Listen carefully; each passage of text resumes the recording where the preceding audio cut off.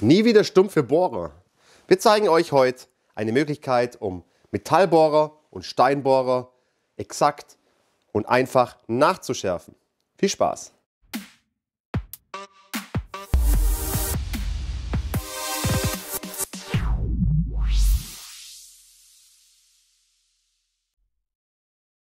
Willkommen bei Gipfelholz, heute in Lederhosen. Wir haben heute eine Schärfvideo, eine Schärfvideo, tolles Deutsch, nein, ein Schärfvideo für euch. Heute geht es nicht um Forstnerbohrer wie in dem vorherigen Video, das verlinken wir euch, sondern heute geht es um Metall- und Steinbohrer. Da habe ich immer das Problem gehabt, der Jens hat geschimpft, was hältst du denn immer für stumpfe Bohrer? Ganz Zeit hat er es gesagt. Ja, ist ja, war ja auch so. Aber das ist, ich habe dann halt zig Bohrer gekauft und irgendwann waren es immer wieder stumpf. Und dann bin ich auf dieses Gerät hier gestoßen, den Drill Doktor und das ist wirklich klasse. Also wie gesagt, so einfach habe ich noch nie Bohrer schärfen müssen, obwohl ich es in der Lehre auch gelernt habe am Schleifbock. Aber damit geht es einfach besser. Und genau um dieses Gerät geht es in diesem Video. Wir erklären euch, wie das funktioniert und zeigen euch natürlich auch die Schärfergebnisse. Fangen wir gleich mal mit dem Metallbohrer an zum Schärfen. Dann zeigen euch, wie das geht. Also ihr habt hier im Endeffekt einen Bohrerhalter. Den könnt ihr in der Größe verstellen. Sieht man es? Nee, nicht wirklich. Ja, doch, jetzt sieht man es. Von, von äh, war, bis, war, wie viel geht es jetzt hier? Ich Also- krieg das heute gerne mal raus, Mensch. Ein langer Tag heute. Ja, also normal äh, geben sie an von 3 bis 13 mm, aber ich habe hier auch schon einen 15 mm reingebracht. Den gibt es aber auch in größeren Größen.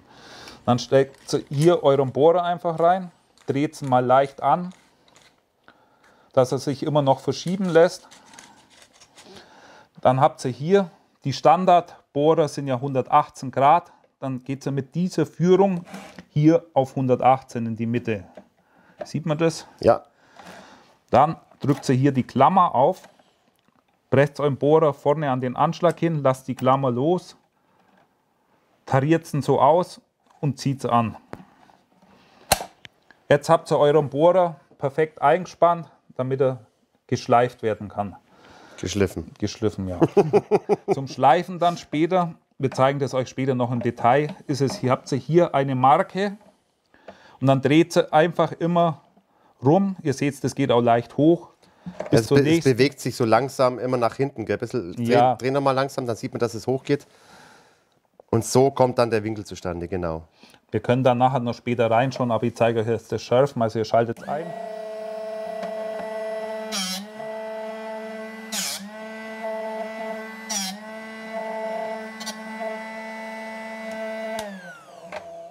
Man kann es am Bohrer anschauen, der ist jetzt schon gut geschliffen.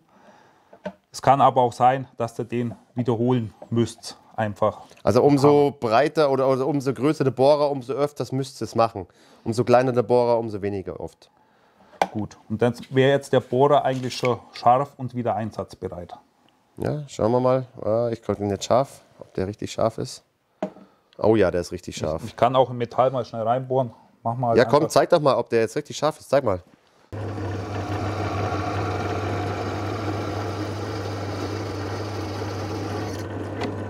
Jawohl, also man sieht es schon an den Spänen. lange Späne. Lange Späne, die kommt, die kommen richtig schön raus. Das ist scharf, das Ding.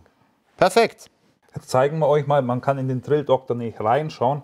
Wenn ihr jetzt oben dreht, dann seht ihr, was für Bewegung der Bohrer macht. Und das ist eigentlich genau diese Bewegung, wo man auch an einem Schleifbock per Hand machen kann. Ich hoffe, man sieht gut auf der Kamera, wie sich Ja, der ja. Bohrer bewegt. Ja, Und dadurch kriegt ihr einfach diesen exakten Stift an dem Bohrer hin. sieht man, jawohl. Passt.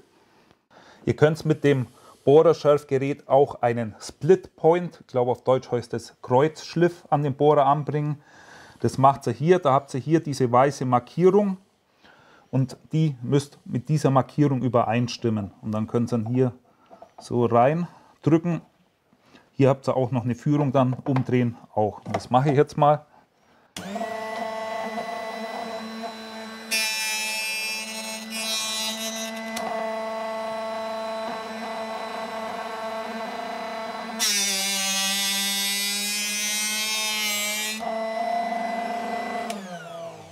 Und dann sieht man jetzt So, wart, hier, wart, zum, wart. So, hier sieht man jetzt diesen Split, äh, Ja, das kann man sehr schlecht erkennen drauf. Ein Slip Point, also oben sieht man, dass einfach die Phase hinter Schliffen ist. Genau. Und dadurch ist der Bohrer äh, dann, manche sagen, ist nicht einmal ein Körnen notwendig und er geht halt leichter einfach ins, ins Metall rein. Jetzt habe ich hier mal hier eine Großaufnahme. Hier, den Split Point nennt man das, gell? So steht es in Genau. der Anleitung drin.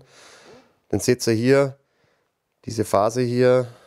Jetzt, genau, jetzt so sieht man es ganz genau. Den könnt ihr auch noch mit reinschleifen. Man kann aber auch Bohrer in anderen Winkel schleifen. Es ist zwar keine komplett rasterlose Einstellung, aber ihr habt hier, also praktisch das ist die Führung. In der Mitte ist es, jetzt sehe ich das, ist es 118. Und jetzt habt ihr hier auch noch eine Anzeige. Ihr könnt den dann praktisch immer um einen Raster weiterschieben. Das sind dann jeweils 10 Grad Genau. plus und 10 Grad 10 minus. Grad minus. Einen Bohrer wieder einfach damit ausrichten, dann könnt ihr auch andere Winkel schleifen. Jawohl.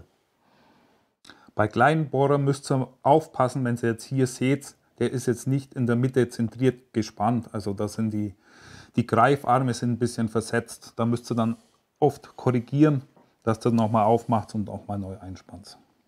Jetzt habt ihr gesehen, Metallbohrer geht ziemlich einfach. Steinbohrer geht auch einfach. Dazu spannt ihr auch wieder den Bohrer rein, dass er leicht beweglich ist. Ausgerichtet wird er jetzt, ist er total falsch. Seht ihr hier und hier eine Marke. Zu denen muss er parallel oder in, in einer Flucht eher gesagt nicht parallel stehen. So passt es. Und dann stellt ihr hier nur die Tiefe ein. Festspannen. Kontrollieren. Ja, passt so.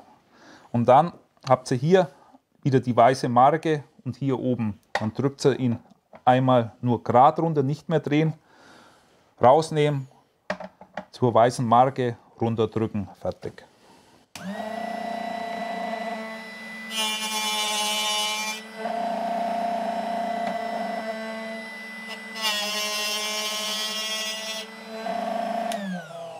Und das war schon. Bohrer ist So, wieder scharf. warte, schauen wir mal. Ist der wirklich scharf? Ja, der ist schön. Wow, okay. Kann man schlecht erkennen, aber innerhalb von ein paar Sekunden ist das Ding wieder nachgeschärft. Super. Das war jetzt ein kurzes Video mal wieder, aber trotzdem, sage ich mal, dieser Drill-Doktor, ich habe ihn unwahrscheinlich gern. Ihr findet im Internet bestimmt auch günstigere äh, Bohrerschärfgeräte. Wir stellen, glaube ich, vielleicht auch noch eins vor, wissen wir jetzt noch nicht ganz genau. Aber der ist wirklich eine Qualität, kostet ein bisschen mehr, aber das Einstellen geht wirklich super und die Bohrer sind in 0, nix wieder scharf. Also Preis-Leistung ist wirklich in Ordnung, wenn man jetzt nicht nur, nur die allerbilligsten Bohrer vielleicht daheim hat. Ja, wie gesagt, aber selbst da wird sich irgendwann lohnen. Der, wo viel mit Metall arbeitet, der kennt es, dass stumpfe Bohrer ist und es geht wirklich super. Also Ja. klare Kaufempfehlung. Wir verlinken euch unten, wie auch die größeren Varianten, verlinken wir euch unten. Schaut es euch einfach mal an. Und sonst war es das jetzt eigentlich von dem Video. Wenn es euch gefallen hat, dann lasst einen Daumen da. Könnt ihr uns noch Abos da lassen. Und mich würde interessieren, Thomas, wie schärft ihr eure Bohrer, Bohrer daheim? Schreibt es doch mal bitte unten in die Kommentare. Genau, das, das ist ganz wichtig. Schreibt es mal rein. Aber wie gesagt, ich gebe ihn nie wieder her. Das ist absolut und der Jens kann nicht mehr schimpfen. Du hast ja stumpfe Bohrer. Ist AD. Jawohl, prima. Also, Ade Leute miteinander. Servus aus dem Allgäu. Ciao.